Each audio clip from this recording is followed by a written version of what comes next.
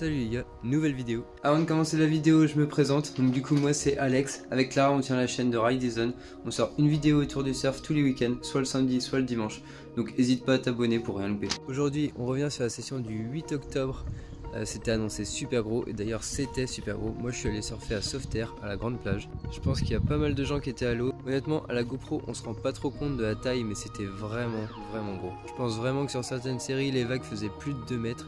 D'ailleurs j'avais vraiment un peu de mal à surfer tellement c'était gros.